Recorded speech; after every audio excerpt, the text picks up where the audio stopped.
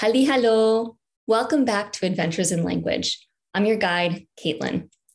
In our last episode, we talked about languages that are harder or easier to learn for English speakers. But what if your native language is not English? Would you find the same languages hard or easy? In this video, we're exploring one of the reasons why language difficulty is not a one size fits all situation. Specifically, we're talking about how the languages you know influence the languages you're learning. If you're new here, let me introduce myself. My name's Kaitlyn Tagarelli, and I'm a linguist and head of research at Mango Languages. I have a PhD in linguistics, and I'm a lifelong language learner and teacher. There is so much to learn about the science behind language learning, and I'm excited to be taking you on this journey with me. Are you ready? Let's get started it probably makes intuitive sense that if the language that you're learning is similar to your L1, if it has a lot of similar vocabulary and grammatical features or a lot of overlapping sounds, you'd have an easier time learning that language than you would if the language is very different from your L1. To a certain extent, this is true. But some of the ways that languages influence each other might not be what you'd expect. By definition, if you're learning a second language, you've already got at least one language under your belt. So it stands to reason that what you already know about that language would come into play when you start learning a new one. So, how does this work? Let's take an example. Imagine that you're a native speaker of Spanish and you've decided to learn Portuguese. These languages are incredibly similar. Nearly 90% of their vocabulary is overlapping, and they have largely similar grammatical features and sounds. The languages also originate from and persist in similar cultures around the world, like the Iberian Peninsula in Europe or in South America. In fact, when traveling in South America, I remember meeting many Spanish speakers from countries like Uruguay and Argentina who were able to converse with the Portuguese speaking Brazilians they met without actually speaking each other's languages. This means that in some cases, there's actually a level of mutual intelligibility between the two languages. Studies have shown that native speakers of Spanish can understand about half of spoken Portuguese and almost all of written Portuguese without ever taking a single lesson. When it comes to learning, Spanish speakers learn Portuguese about twice as fast as native English speakers, whose native language is not nearly as similar to Portuguese. While the numbers are a bit striking, none of this is really surprising. But here's something interesting. Spanish speakers learning Portuguese tend to get held up on some of the grammatical differences between the two languages.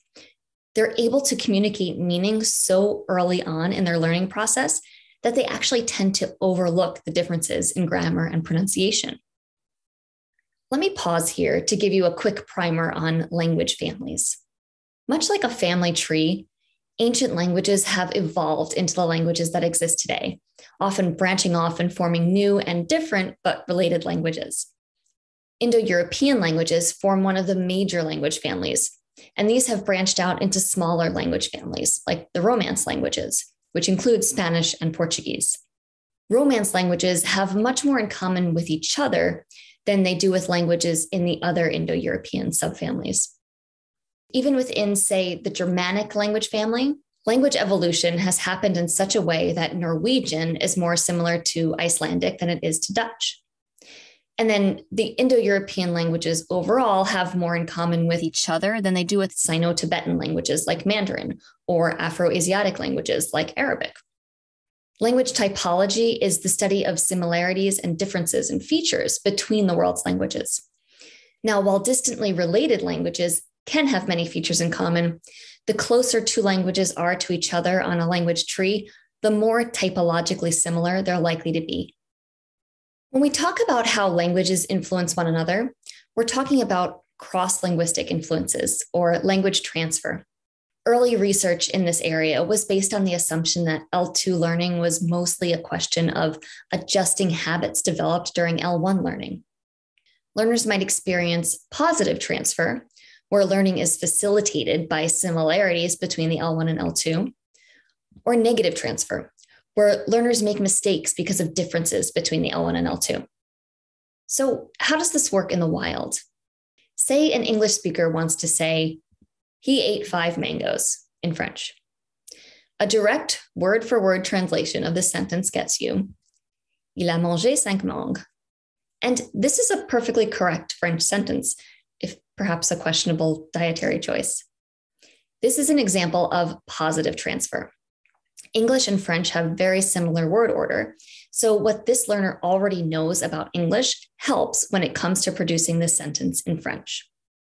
But if that same learner tried to rely on English word order to say something like, I miss you in French, they get it wrong because French uses a different sentence structure for this phrase.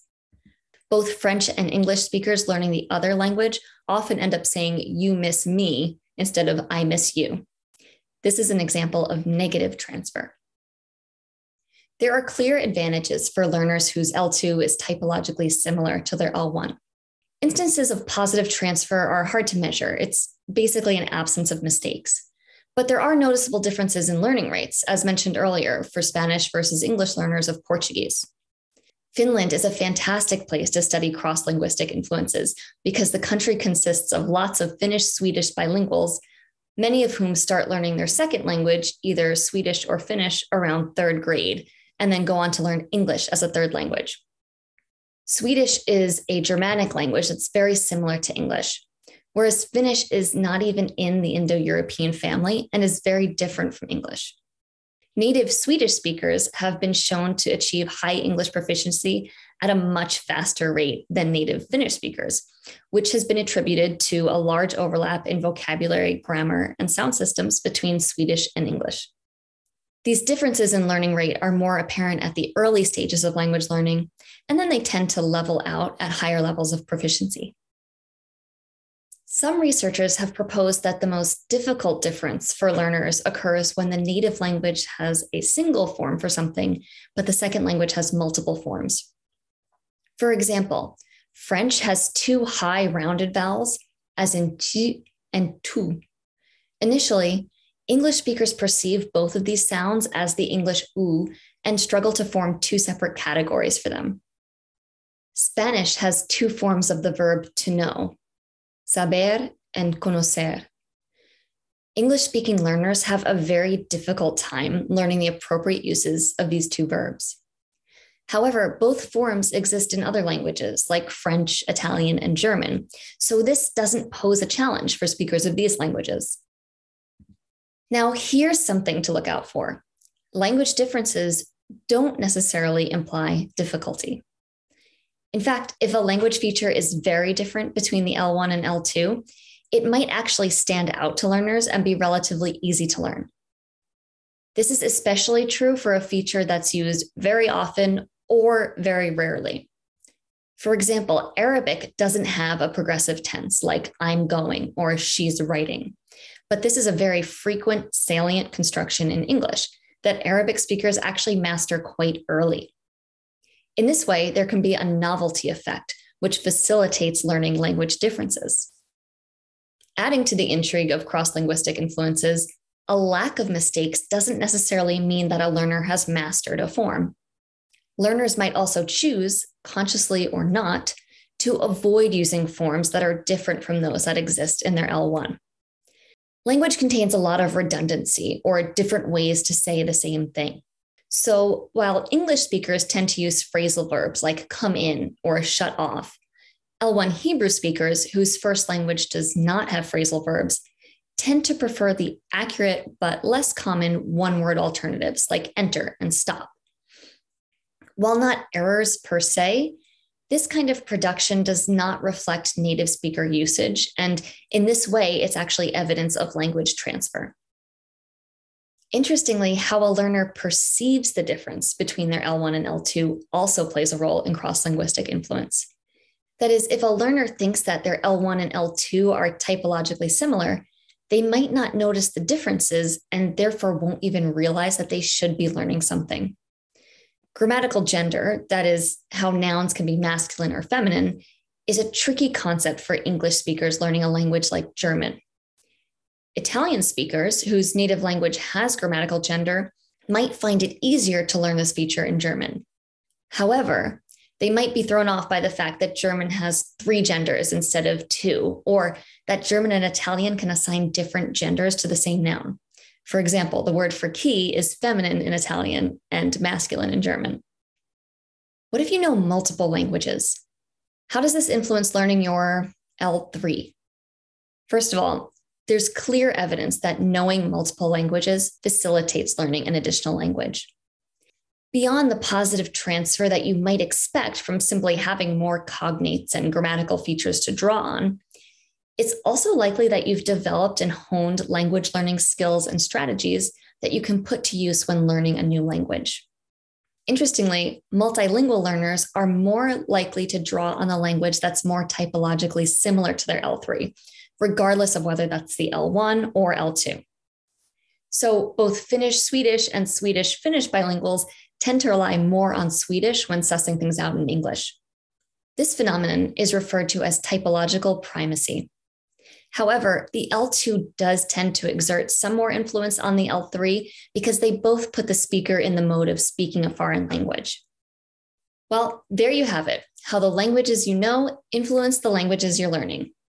To recap, first, the languages you know do influence the languages you're learning. If your languages share a lot of similar features, you're likely to get a boost. If they're very different, you'll probably encounter some more challenges. However, sometimes the opposite's true. Number two, cross linguistic influences are often categorized into instances of positive transfer, where learning is facilitated by similarities between the L1 and L2, or negative transfer, where learners make mistakes because of differences between their languages. Third, how a learner perceives the languages they learn can actually influence the extent of language transfer. And finally, knowing multiple languages facilitates learning additional languages. And the typology of the languages you know is likely to have more of an impact than the order in which you learn them. If you like this video and you want to learn more about the science behind language learning, make sure you subscribe to our channel. Be sure to check out the description for this video for some free materials on cross linguistic influences. Thanks for listening. Tschüssi.